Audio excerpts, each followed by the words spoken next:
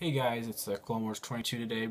I wanted to bring you guys a review on a portable charger I bought from Amazon about a month ago. Uh, it's the EasyAcc uh, 10,000 uh, milliamp portable charger. So yeah, I'll get a good good look at this thing. I don't have the box, so you won't be able to see what the box is, but basically there's nothing fancy about the box, just a box with some with instructions, which you really don't need to know too much about this other than that it's a 10,000 milliamp portable charger battery with uh, two USB uh, cables, uh, plugs for you could charge two devices at the same time and the charging port for the device itself, which you can plug in to your computer. Uh, comes with two charging cables. There's a shorter one. You see EasyAcc. Uh, pretty straightforward. And you get a longer cable. And if you look closely at it, you may have noticed something not quite right about this cable.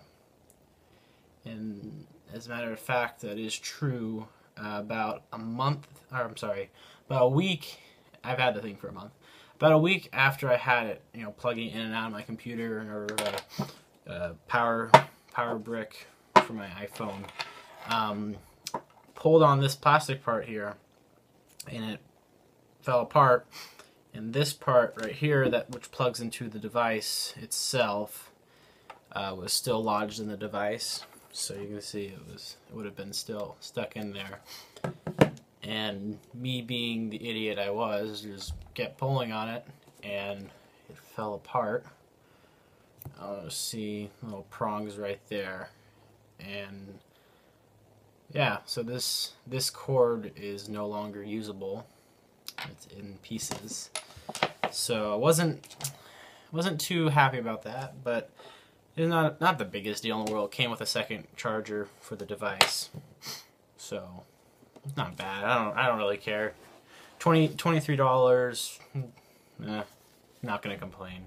So I mean that knocks off some points for it, but oh well. So one more look. Very easy. Uh, you would just plug in. Uh, in my case, you just plug in your cord, plug in this USB, and then you would plug it, say, into an iPod. Plug it in, and it's charging.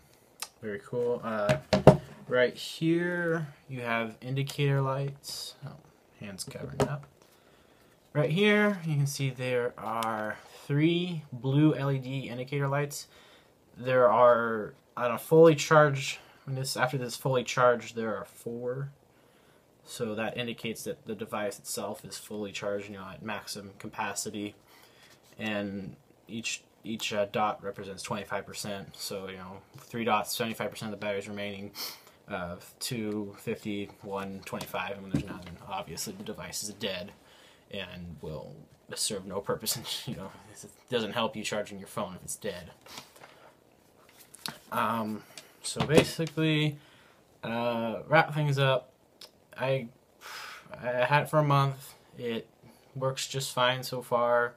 You know, if you need, if you're going, because I can only get about on my phone probably about go say half the day, probably till like three o'clock before you know it's at ten percent battery life, and by then you're you know you're stressing for battery life. You know, because you don't want to come home by five o'clock. You know, three o'clock comes and your battery's dead, the phone's no good, and you're out of luck. So if you're like at an event or a party, and you can't find an outlet or anything, this this device can come in handy. And really, 23 bucks isn't all that expensive for something I can get on a full. When this device is fully charged, I can probably get about five full charge, five full 100% charges on my phone before this device itself is totally dead. So that's pretty. That's that's good. You can, you know, keep this probably around for three days and not have to worry about charging it. So, like I said, you can either charge it in your computer or you can use it like uh, a USB power brick, something like that. And yeah, I mean, other than this cable breaking, I have really no complaints about the device itself. It seems to charge my phone just fine. Uh, so, oh, one little thing too um, is one this port here. This port right here is a 2.1 amp charging port and charging rate or whatever, and this is a 1.5 amp. So if you plug it into this one right here, you're gonna get faster charging times. So that might be for more appropriate for say an iPad or Android tablet. So yeah, uh, I would probably out of out of five stars, I'd give this a four just because of this guy right here. So, uh, other than it breaking, I'd give it a 4 out of 5. If this never broke, I'd give it easily a 5 out of 5. But just because, you know, we spent money, got two chargers, and this guy broke, you know, when this breaks, we got to go buy more or have to buy, might have to buy a whole new device. Haven't done much research on extra cords or cables or anything. So uh, thanks for sticking around and hearing my opinion on the the EasyAcc 10,000 milliamp portable charger. Hey guys, just want to thank you again for uh, sticking around for my review on the EasyAcc portable charger. Uh, if you wouldn't mind, if you enjoyed the video, uh, I would I always greatly appreciate when you guys hit the like button below. And if you have any questions or comments, uh, positive, negative, whatever, um, you know, feel free to leave leave a comment below. I mean, uh, if you have any questions, I will gladly answer them if I didn't cover it in my in my review that I just did on the charger.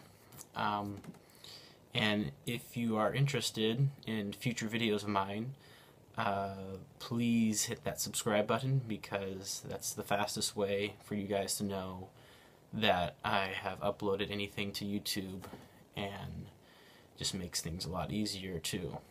So thanks again for sticking around and I will see you guys in the next video.